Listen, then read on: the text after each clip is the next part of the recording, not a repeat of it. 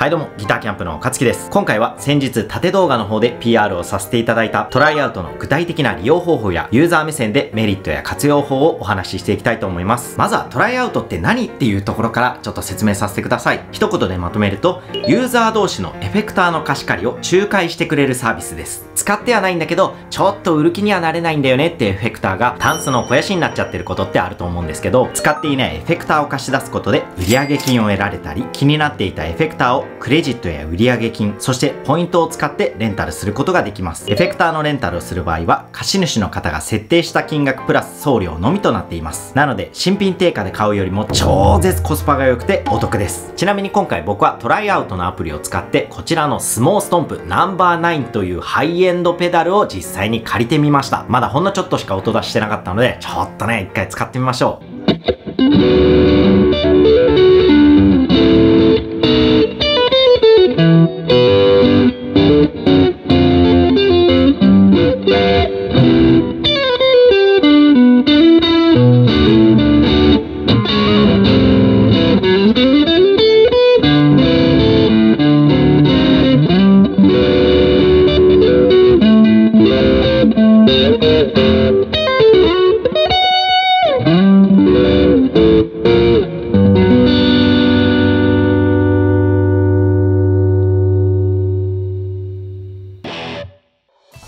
セッティングね、適当にやっちゃったんですけれども、これね、誰でもいい音出せるエフェクターだと思います。実はこういったハイエンドペダルを僕は人生の中でもう片手に収まるぐらいしか、えー、弾いたことがありませんでした。皆さんもお分かりの通り、こういったハイエンドペダルっていうのは結構値段高いじゃないですか。なので楽器屋さんで思想をお願いするのもちょっと気が引けるし、ぶっちゃけ買うまではいかないけど、思想はめっちゃしてみたいんだよなっていう気持ちがね、すごくありました。こちらのスモーストンプも新品だと3万3000円するんですが、それが送料とレンタル料料金だけで、こうやって自宅でくつろぎながら思想ができるってめちゃくちゃいい時代になりました。もちろん自宅で思想するだけじゃなく、例えば実際ライブで使ってみて、箱での音の具合はどんな感じかなってチェックしてもいいし、あとは結婚式の二次会とか文化祭とか、そういったイベントの時だけスポットで借りるみたいなのもめちゃくちゃ便利だと思います。あとはこれは弾いてて思いついたんですけど、僕みたいに動画を配信する人は、エフェクターを買うんじゃなくてトライアウトで借りてレビューするとかね。もしくは新製品のエフェクターを買ってレビューした後にトライアウトで貸し出して元を取るみたいな使い方もありなんじゃないかなと思います。では実際の使い方もとっても簡単なので説明をさせてください。トライアウトで実際にエフェクターの貸し借りをする場合は、まずスマホのアプリをインストールします。そしたら必要情報を入力していただいて、免許証などの個人情報の画像をアプリ内からアップロードすると、早ければ半日ほどで認証されるので、そこからは自由に貸し借りができるようになります。実際にこちらのスモーストンプをお借りした時の画像ですが、利用目的を選んで、レンタルの期間を決めたら、あとは申請するだけでした。そこから貸し出し主の方の承認が下りれば、契約が成立となり、エフェクターが到着するのを待つだけって感じです。そこから申請した期間まで自由に使えて、あとはエフェクターをしっかり梱包して変装すれば OK です。あとは超急な出張が入っちゃったり、起き上がれないぐらい体調が悪くて、返却の期限に間に合いそうにない場合でも、1週間単位でレンタルの期間延長の申請も可能となっています。もちろん出品の方もとっても簡単で、希望金額と貸し出し期間を設定して、それぞれエフェクターの名前やブランドなどの項目に従って入力して申請するだけなので、めちゃくちゃ簡単です。僕はこの PR 動画を撮影する前後がちょっと忙しかったので、移動する間に出品登録とかしたんですけれども、その移動の時間の間だけで簡単に申請することができました。そして今回はトライアウトの PR も兼ねて、僕がめちゃくちゃに大事にしてるこちらの RK5 というリッチー・コッツェンシグネイチャーのマルチエフェクターを出品させていただきます。こちらのマルチはすでに廃盤品で、本体もそこそこの値段をしたので、気になっていた方も結構いらっしゃるんじゃないでしょうか。で、今回は純粋にトライアウトをみんなに知ってほしかったんで、こちら1円で出品ししようと思ったんですけれども、アプリの設定上最低価格が500円からだったので、こちらの RK5、500円で2週間貸し出しさせていただきます。では、改めてトライアウトの生みの親であるジオテクノロジーズの新井さんと田中さんに今回インタビューをさせていただいたので、そちらの動画をご覧ください。じゃあまずは自己紹介の方お願いしてもよろしいでしょうか。代表の新井と申します。よろしくお願いします。トライアウト事業責任者の田中と申します。よろしくお願いします。はいありがとうございます。トライアウトを作ったきっかけを伺ってもいいですか？いろいろあるんですけれどももともと僕がバンドをやっていた、まあ、音楽をやっていたっていうのがそもそものきっかけにはなっていまして近くに楽器屋がないとかエフェクターを試すのに楽器屋に行って演奏するのが恥ずかしいだったりとか店舗にそもそも欲しいエフェクターってないんだけどとか購入する側のいろいろな悩みっていうのが、まあ、僕初心者の時に結構ありましてでであればそもそもこうアプリ内で全てこう完結するような、まあ、そこを全部網羅してあげられるようなサービスを作ってあげればよりこう音楽を始めるきっかけ、まあ、バンドを始めるこうきっかけに少しでもつながるんではないかなと今回アプリの開発に、えー着手させていただきました。まあ、あとはあれじゃないですかね会社の理念として、うん。えー、と世の中に影響を与えていきたい。 GIO の略って Good Influence On なんですよね。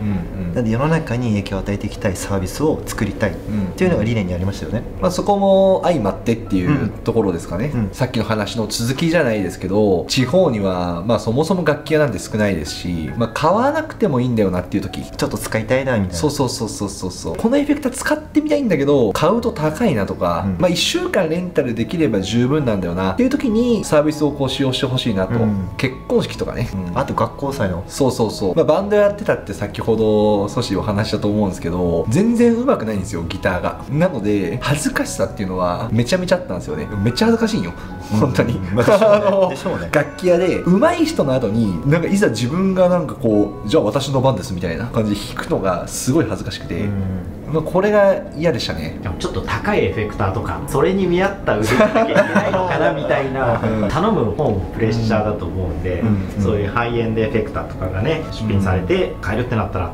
かなり需要大きいんじゃないかなと思います、トライアウトを作る時に、えーうん。苦労したことってあればお聞かせいただいてもいいですか？本当にいっぱいやりましたよね。いっぱいありますね。数えきれないぐらい。数えきれないくらいありますしどこまでなんですかねこうユーザーのセキュリティをこう守るかみたいな話はすごい出ましたよね。出ましたね。うーん、まあ、どうしても C2C のやり取りなのでどうしてもトラブルっていうのはやっぱりねリスクがあるので、うん。どこまでこうリスクを下げる仕組みを我々ので入れるかっていうところはかなり議論しましたね。でセキュリティをこう強めれば強めるほど、うん。二段階認証とか、うん。インストールのこの手間、セキュリティレベル上げるとユーザー使い勝手がどうしても悪くなってしまうっていうところがあって、うん。そこのねバランスを取るのにもう半年とか1年ぐらいは多分検討してちゃかかりましたね。半年1年でそんなかかるんですね。かかりました試行錯誤ですね。うん。23か月で検討して作ってみて、はい。い、やでもユーザー目線に立ったらこれはちょっと UI 的に UX、まあ、要は使い勝手ですね。悪いんじゃないか。で作り直して、うん。で今度セキュリティ的にやばいんじゃないか。っていう試行錯誤をもう何度も何度もした感じですね。じゃあもうリリースまでに23年ぐらいかかってるってことですか？発想からって考えると、うん。多分2年ぐらいは二年ぐらい。かかってますね。うん。中古で買うっていうような需要の方が多いと思うんでエフェクターをレンタルするっていうその文化ってまだないと思うんですよね。そのレンタルをしてこう試して見てほしいんだよなっていう、まあ僕らのこの思いがどうやったら伝わるかなっていうめちゃめちゃ考えましたよね。うん。っていうのもあって今いろいろこうやってるんですけど。そのトライアウトの目標というかトライアウトを通して実現したいこととかってありますか？そうですね。もうほんと購入できないようなエフェクター珍しいエフェクターって言えばいいですかね。っていうのを弊社から出品させていただいて体感してもらいたいなっていうのもありますし布袋さんとかが使っているこうエフェクターボードセットみたいなものをその丸々出品してそれを丸々試せるみたいな。でかつ設定の仕方も全部書いてあります。みたいなことができたら面白いかなって思ってますね。まあ今もちろん法人の楽器屋さんとかとは提携を組むような動きはしてるんですけれども弊社のアプリを通してコンテストを開いてで優勝者には〇〇とかね、うん。世の中にこう発信するようなきっかけを提供できたらより面白いかなって確かに思いますね。最後に視聴者さんに何かメッセージがあれば